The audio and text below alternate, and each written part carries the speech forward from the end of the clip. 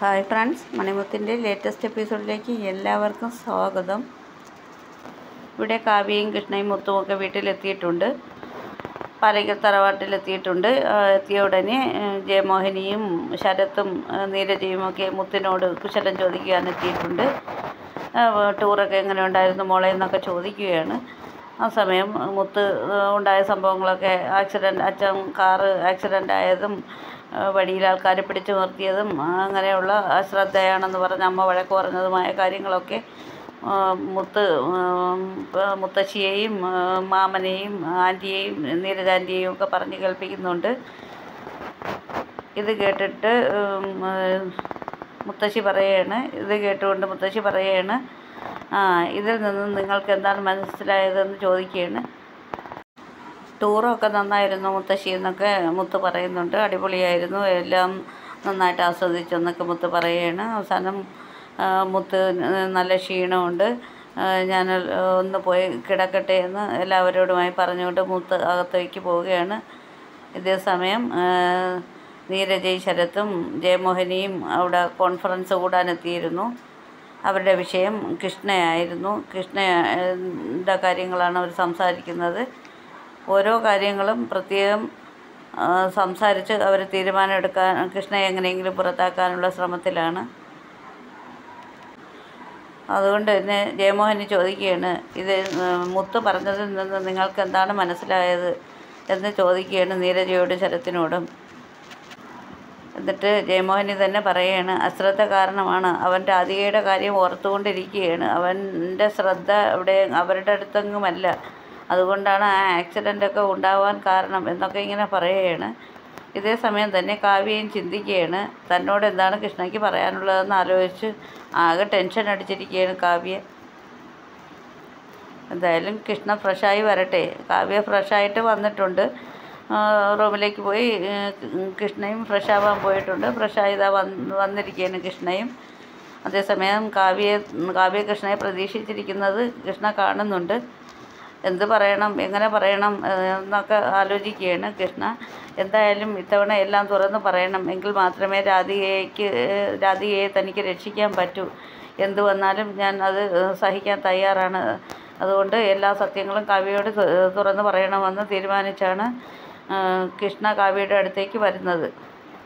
അപ്പോൾ തന്നെ കാവ്യ ചോദിക്കുന്നത് എന്താ കൃഷ്ണ പറയാനുള്ളത്? ഞാനിവിടെ വെയിറ്റ് ചെയ്യുകയാണ് കൃഷ്ണയ്ക്ക് പറയാനുള്ളത് എന്താ? എന്ന് പറയൂ. എന്ന് പറയുമ്പോൾ അത് പറയാൻ തുടങ്ങുന്ന സമയത്ത് തന്നെ കൃഷ്ണന്റെ മനസ്സിൽ രാധികയുടെ രൂപം തെളിഞ്ഞു വരികയാണ്. രാധിക മുമ്പൊരിക്കൽ പറഞ്ഞത് കൃഷ്ണൻ ഓർക്കുന്നു കണ്ണേട്ട കണ്ണേട്ടന്റെ ഭാഗ്യമാണ് കാവ്യ. ഇത്രയും നല്ല ഒരു ഭാര്യയെ കിട്ടിയത് കണ്ണേട്ടന്റെ ഭാഗ്യമാണ്. ഇത്രയും നല്ല സ്വഭാവമുള്ളതും ഇത്രയും സ്നേഹ രൂപിണിയായ ഒരു ഭാര്യയാണ് കാവ്യ. ഈ ലോകത്ത് ഞാൻ കണ്ടിട്ടുള്ളതിൽ വെച്ച് ഏറ്റവും നല്ലവളാണ് കാവ്യ. അതുകൊണ്ട് ഒരിക്കലും കണ്ണേട്ടൻ കാവ്യയെ ഉപേക്ഷിക്കരുത്. നമ്മൾ തമ്മിലുള്ള ബന്ധം ഒരിക്കലും കാവ്യ അറിയാൻ ഇടവരരുത് എന്നൊക്കെ കൃഷ്ണനോട് രാധിക പറഞ്ഞത് കൃഷ്ണൻ ഓർക്കുകയാണ്. കൺ കണ്ണേട്ടൻ എനിക്ക് വാക്ക് തരണം. ഒരിക്കലും നമ്മുടെ ബന്ധം കാവ്യ അറിയാൻ പാടില്ല. കണ്ണേട്ടനായിട്ട് പറയാൻ പറയില്ലെന്ന് എനിക്ക് വാക്ക് തരണം എന്ന് പറഞ്ഞത് ഓർക്കുന്നു കൃഷ്ണൻ. അതേസമയം കാവ്യ വീണ്ടും ചോദിക്കുകയാണ് എന്താണ് കൃഷ്ണ എന്നോട് പറയാനുള്ളതെന്ന്? അങ്ങനെ പറയാൻ തുടങ്ങുന്ന സമയത്ത് വീണ്ടും രാധികയുടെ മുഖം ഓർമ്മ വരുന്നു കൃഷ്ണന്. അതേസമയം തന്നെ പറയാണ് ഞാനൊരു പേക്കിനാവ് കണ്ടു കാവ്യെ അതുകൊണ്ടാണ് ആ പേക്കിനാവ് അതുകൊണ്ടാണ് ഞാൻ രണ്ട് മൂന്ന് ദിവസം നിങ്ങളെ കൂടെ ഇങ്ങനെ അസ്വസ്ഥതയായിരുന്നതും ഇന്നലെ അങ്ങനെയൊക്കെ സംഭവിക്കാൻ കാരണം എന്റെ മൈൻഡ് കൈവിട്ട് പോയിരുന്നു. എന്നൊക്കെ കാവ്യയോട് കള്ളം വീണ്ടും കള്ളം പറയുകയാണ് ചെയ്തത്. എന്ത് പേക്കിനാവാണ് കൃഷ്ണ കണ്ടത്? പറയൂ കൃഷ്ണ.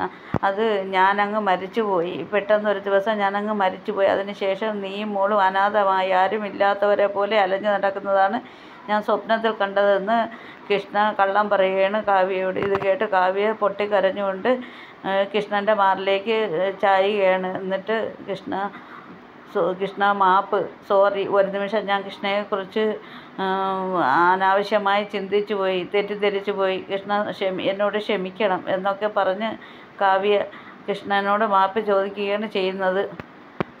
ഇതേസമയം കൃഷ്ണ ഓർക്കുകയാണ് താൻ തന്നെ ജീവനതുല്യം സ്നേഹിക്കുന്ന തന്റെ ഭാര്യയോട് വീണ്ടും കളവ് പറയുകയാണല്ലോ ഈശ്വര തന്നോട് പൊറുക്കണേ അവക്ക് മാപ്പ് കൊടുക്കണേ എന്നൊക്കെ ഇങ്ങനെ ആലോചിക്കുകയാണ്. അത് ആ സമയത്ത് ഇവിടെ നീരജയും ശരത്തും കൂടി ഒരുമിച്ച് കൂടി ഇരിക്കുകയാണ്. അവർ ഭാവി കാര്യങ്ങൾ തീരുമാനിച്ചുകൊണ്ടിരിക്കുന്നതിനിടയിൽ ശരത്തിനോട് നീരജ ആവശ്യപ്പെടുകയാണ്.